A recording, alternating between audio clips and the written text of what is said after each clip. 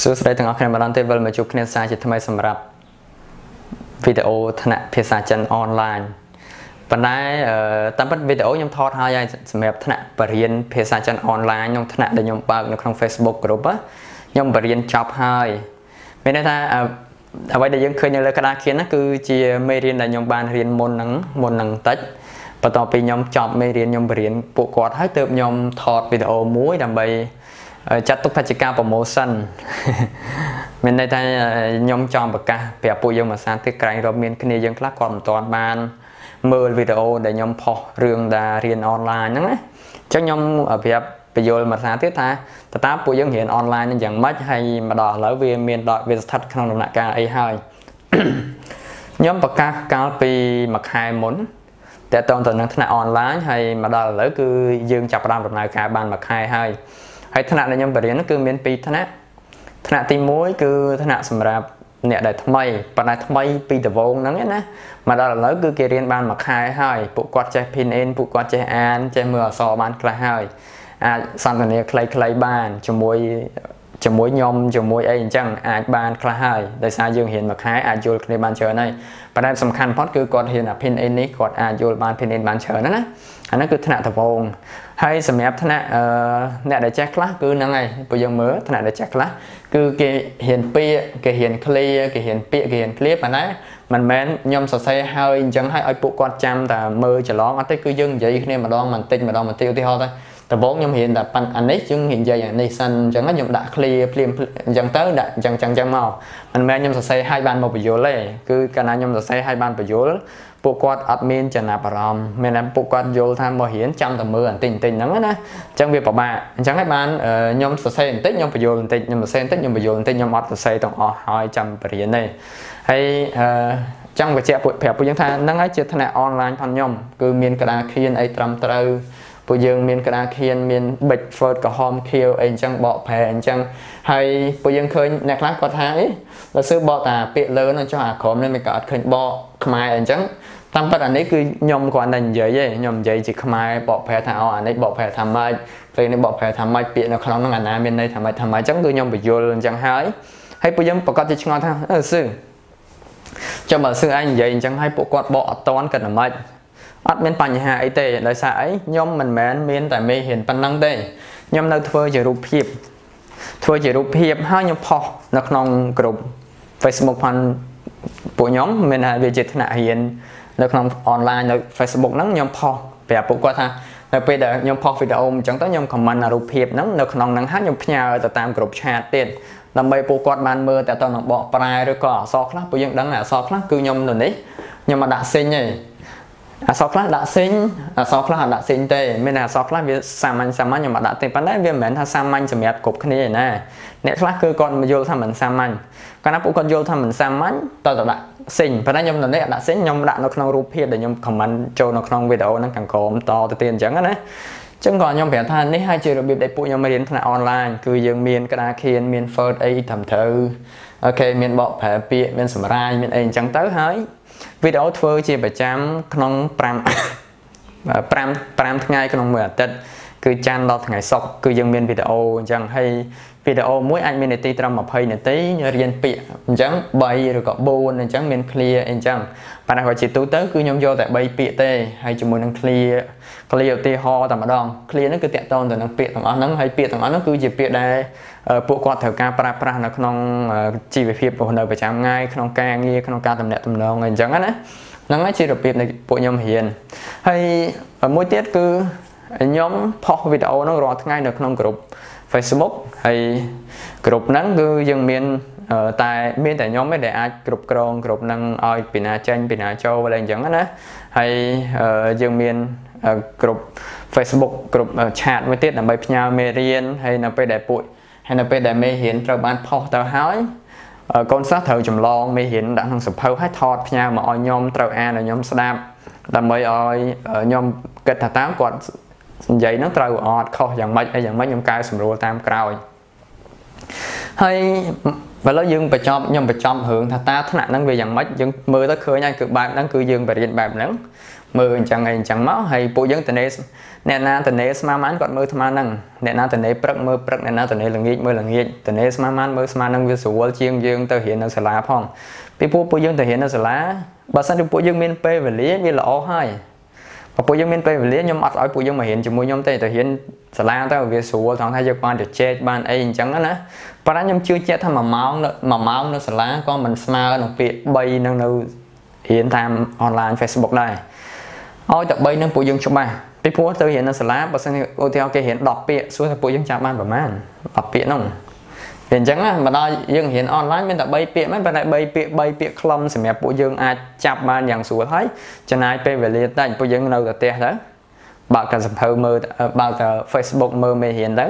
គាត់តែចូលក្នុងសភៅរៀនតែញរៀនអាននេះទៅគឺចប់សពគ្រប់វាល្អប្រសើរមួយយ៉ាងដែរតែបើសិនក្នុងករណីដែលពួកយើងមិនចង់អញ្ចឹងក៏វាមិនអីដែរហើយបើសិនពួកយើងមានថ្នាក់រៀននៅសាលាអាហ្នឹងក៏ខ្ញុំឲ្យពួកយើងទៅរៀនដែរមិនចាំបាច់មករៀនថ្នាក់អនឡាញទេហើយអាហ្នឹងគឺវាអញ្ចឹងទេណា ហើយអញ្ចឹងខ្ញុំសូមចាប់ផ្ដើមនិយាយតកតងទៅនឹងថ្នាក់នឹងបន្តិចទៀតអឺមកដល់ឥឡូវខ្ញុំក៏នៅតែទទួលសិស្សទទួលសិស្សទាំងពីរកម្រិត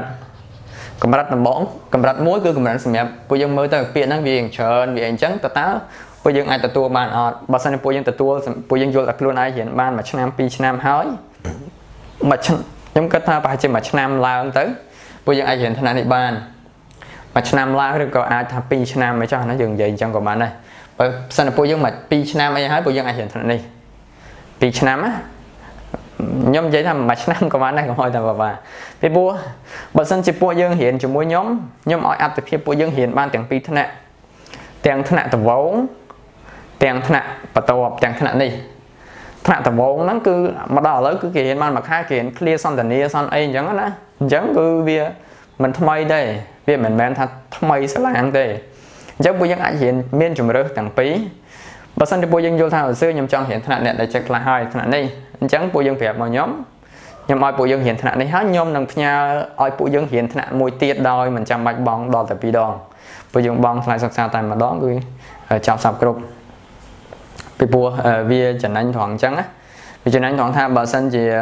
ពួកយើងរៀនជាមួយខ្ញុំក្នុងថ្នាក់នេះខ្ញុំឲ្យពួកយើងរៀនទាំងពីរថ្នាក់បើសិនពួកយើងយល់ថាថ្នាក់ណាស្រួលជាងពួកយើងប្រាប់ខ្ញុំម្ដងទៅថាសួរខ្ញុំសុំដូរពីថ្នាក់នេះមកថ្នាក់នេះវិញដោយសារថ្នាក់នេះរៀងស្រួលជាងអីចឹងពួកយើងប្រាប់មកខ្ញុំមកខ្ញុំដូរឲ្យប៉ុន្តែបើសិនពួកយើងថាមិនចង់បាច់ដូរបាច់អីខ្ញុំរៀនទាំងពីរមកអានោះរៀនទាំងពីរតែម្ដងឲ្យតែពួកយើងមានពេលហ្នឹងអញ្ចឹងខ្ញុំអត់មានថាទៀមទេថាបើសិនពួកយើងរៀនពីរថ្នាក់ទៅតបងខ្ញុំពីរថ្នាក់មិនចាំបាច់ទេ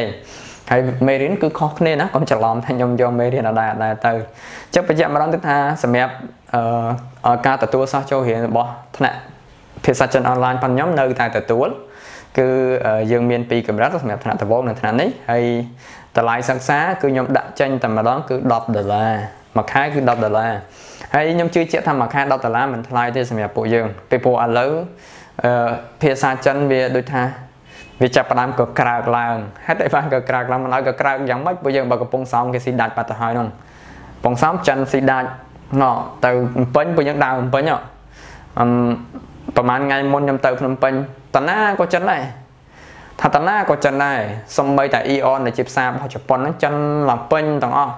ចិនបើថាចិនរស់ស៊ីយើងអះបើថាចិនរស់ស៊ីតិចតួចមិនអីអានេះមកឯងទាំងអូទាំងខ្សែស្លាយទាំងពីក្មេងក្មេងអីណាសាស្លាស្អីវាមកអីចឹងទៅណាវាពេញវាហើយខ្ញុំដើរទៅតាណាក៏ចិនដែរ សង្ឃថាចិនចង់ច្រើនជាងខ្មែរផងហើយពួកយើងចង់ធ្វើយ៉ាងម៉េចបើសិនជាពួកយើងមានជំរើសរៀននៅសាលាល្អប្រសើរប៉ុន្តែបើអត់មានជំរើសរៀននៅសាលាគួរណាស់តែរៀនថ្នាក់អនឡាញហើយថ្នាក់អនឡាញខ្ញុំមិនមិនមែនថាឲ្យពួកយើងត្រូវតែរៀនមួយខ្ញុំទេពួកយើងអាចមានជំរើសថ្នាក់ផ្សេងផ្សេងទៀតទៅដូចអឺគេបើកថ្នាក់ផ្សេងផ្សេងអីអនឡាញផ្សេងផ្សេងគឺពួកយើងរៀនជាមួយគេក៏វាមិនជាបញ្ហាដែរប៉ុន្តែក្នុងករណីដែលពួកយើងចង់រៀនជាមួយខ្ញុំខ្ញុំប្រាប់ពួកយើងថាថ្នាក់ខ្ញុំគឺបែបហ្នឹង គឺយើងមានបរិញ្ញាពាក្យបរិញ្ញាក្តារខៀនអីមានក្តារខៀនមានអីអញ្ចឹងបកប្រែមានរូបភាពមានអីបង្ហាញបន្តអញ្ចឹងហើយរៀនជាលក្ខណៈវីដេអូមិនមែនជា voice សំឡេងទេពីព្រោះអ្នកគ្រូខ្លះគាត់បរៀនជា voice សំឡេងមានន័យថាគាត់ផ្ញើជាពាក្យទៅគាត់ផ្ញើតែសំឡេងមកថាអូពាក្យនេះបងអញ្ចឹងអញ្ចឹងអញ្ចឹងចប់ប៉ុន្តែខ្ញុំធ្វើជាវីដេអូបង្ហាញទៅតាមវីដេអូពាក្យហ្នឹងវាមានន័យថាម៉េចអីថាម៉េចអញ្ចឹងណាចឹងបញ្ជាក់ម្ដងទៀតថាក្នុងករណីដែលពួកយើងចង់រៀនថ្នាក់អនឡាញជាមួយខ្ញុំ ខ្ញុំផ្ដល់ខ្ញុំទុក link Facebook ខាងក្រោមពួកយើងចូលទៅហើយចាំឆាតខ្ញុំប្រាប់ខ្ញុំថាលើសឿខ្ញុំចង់រៀនថ្នាក់អនឡាញតែហ្នឹងចាំប្រាប់ខ្ញុំមកខ្ញុំរៀបចំតាមហ្នឹងហើយតម្លៃសិក្សាបញ្ជាក់ម្ដងទៀតគឺមួយខែ10រៀលមិនថ្លៃទេខ្ញុំយល់ថាមិនថ្លៃទេមួយខែ10ដុល្លារហើយខ្ញុំឃើញគ្នាគ្រូខ្លះគាត់ទារហូតដល់ក្បែរ20ដុល្លារឯណោះប៉ុន្តែគាត់ខ្ញុំយល់ថា10ដុល្លារវាសមរម្យហើយវាមិនថ្លៃពេកក៏វាមិនថោកពេក ហើយបើសិនជាពួកយើងយល់ថាថ្លៃពេកអាហ្នឹងតតែពួកយើងយល់ថាការចំណាយពេលធ្វើវីដេអូយ៉ាងច្រើនធ្វើវីដេអូរៀបរាប់បញ្យលអស់សេចក្តីបែបនេះវាមិនស័ក្តិសមនឹងទទួលបានតម្លៃសិក្សាមួយខែ10ដុល្លារបានពួកយើងពួកពួកយើងគិតមើលមួយខែ10ដុល្លារបើយើងចាយជាថ្ងៃទៅមួយថ្ងៃបានប្រហែលវាបានវាមិនបានប្រហែលទេមែនទេហើយពួកយើងចំណេញពេលវេលាធ្វើចរាចរណ៍ធ្វើអីទៀត វាចំណេញសាំងចំណេញអីដែរណាគាត់តែខាតថ្លៃកាតទូរស័ព្ទតិចហ្នឹងហើយខ្ញុំនិយាយតែប៉ុណ្្នឹងទេនិយាយបញ្ជាក់ម្ដងទៀតថាបើសិនពួកយើងចង់រៀនថ្នាក់ភាសាចិនអនឡាញជាមួយខ្ញុំហ្នឹងខ្ញុំទុក link Facebook ខាងក្រោមពួកយើងចុចទៅហើយឆាតប្រាប់ខ្ញុំថាយើងចង់រៀនថ្នាក់អនឡាញជាមួយខ្ញុំហើយតម្លៃសិក្សាគឺ10ដុល្លារហើយចំពោះចង្អល់អីផ្សេងផ្សេងអានឹងយើងចាំជជែកគ្នាក្រោយទៀតណាហ្នឹងហើយអញ្ចឹងខ្ញុំសូមបញ្ចប់វីដេអូណែនាំទាក់ទងទៅនឹងថ្នាក់ភាសាចិនអនឡាញរបស់ខ្ញុំប៉ុណ្ណឹង ក្នុងករណីដែលពួកយើងមានចង្អល់អីផ្សេងផ្សេង comment ក៏បានឆាតមកខ្ញុំផ្ទាល់ក៏បាន Facebook ផងខ្ញុំគឺឈ្មោះរបស់ខ្ញុំឈ្មោះអឺឈ្មោះនៅលើ YouTube ហ្នឹងក៏ដូចគ្នាណានឿនសុភ័ត្រាពួកយើងអាចវាយទៅតាមហ្នឹងទៅពួកយើងនឹងឃើញហើយអូខេអញ្ចឹងខ្ញុំសូមបញ្ចប់វីដេអូនៅប៉ុណ្ណឹងហើយអរគុណសម្រាប់ការគ្រប់គ្រងទាំង YouTube ទាំងថ្នាក់អនឡាញពីព្រោះសូមបន្តបន្តិចមុននេះបញ្ចប់អឺហើយខ្ញុំបញ្ជាក់មួយសារទៀតដែរថា តកតងទៅនឹងវីដេអូ YouTube ប្រហែលជាខ្ញុំមិនអាចធ្វើឲ្យវាក្បោះក្បាយអីទៀតដូចពីមុនទេពួកយើងគិតពួកយើងចូល channel YouTube របស់ខ្ញុំពួកយើងនឹងឃើញហើយថាតើមកដល់ឥឡូវខ្ញុំមានវីដេអូក្នុង YouTube ប្រហែលជាង200វីដេអូពួកយើង200វីដេអូមានទាំងវីដេអូថ្នាក់ដំបូងមានទាំងការសិក្សាពាក្យមានទាំងការស្ដាប់បើទោះបីជាវាមិនបានគ្រប់ច្រើនអីមែនប៉ុន្តែខ្ញុំយល់ថាវាច្រើនគួរសម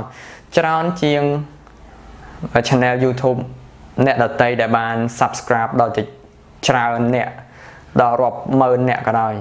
ក៏នៅតែតិចជាងវីដេអូខ្ញុំដែរខ្ញុំនិយាយខ្មែរណាខ្ញុំនិយាយពី channel ខ្មែរយើងដែលធ្វើវីដេអូតាក់ទងទៅនឹងការបរៀនអីផ្សេងផ្សេងណាខ្ញុំយល់ថាគាត់នៅធ្វើតិចជាងខ្ញុំផងព្រោះខ្ញុំពេលខ្លះក៏មានអារម្មណ៍ថាខ្លួនឯងធ្វើបានច្រើនដែរអញ្ចឹងខ្ញុំក៏នៅតែអរគុណសម្រាប់ការគ្រប់គ្រងទាំង YouTube ទាំង Facebook ទាំងគ្រប់អនឡាញអីអញ្ចឹងទៅណា ប៉ុន្តែគាត់ថាខ្ញុំបញ្ជាក់ថាសម្រាប់ Face សម្រាប់ YouTube គឺប្រហែលជាខ្ញុំមិនបន្តឲ្យច្រើនក្បោះក្បាយដូចពីមុនទេហេតុអីពីព្រោះឥឡូវខ្ញុំបរៀនថ្នាក់អនឡាញអញ្ចឹងបើសិនជាខ្ញុំចំណាយពេលទៅធ្វើ YouTube អីច្រើនពេកសួរតើតើកូនសិស្សថ្នាក់អនឡាញគាត់ចាំបាច់ត្រូវបង់លុយរៀនជាមួយខ្ញុំទៅអីមិនចាំមើល YouTube របស់ខ្ញុំហ្មងវាមិនស្រួលទេ មែនទេអញ្ចឹងមកខ្ញុំបញ្ជាក់ប្រាប់ពួកយើងថាអញ្ចឹងណាហ្នឹងអញ្ចឹងខ្ញុំសូមបញ្ចប់វីដេអូនៅប៉ុណ្ណឹងហើយយើងចាំអឺជួបគ្នានៅពេលដែលពួកយើងមានបំណងចង់រៀនថ្នាក់អនឡាញជាមួយខ្ញុំចាំតាក់ទងមកខ្ញុំតាម link Facebook ខាងក្រោមអូខេហើយបញ្ចប់វីដេអូនៅប៉ុណ្ណឹងហើយយើងដែរដែរអញ្ចឹងអូខេបានខ្ញុំខ្ញុំជុំនិយាយតោះអញ្ចឹងប៉ុណ្ណឹងចុះហើយយើងចាំជួបគ្នាវីដេអូវីដេអូក្រោយទៀតអរគុណ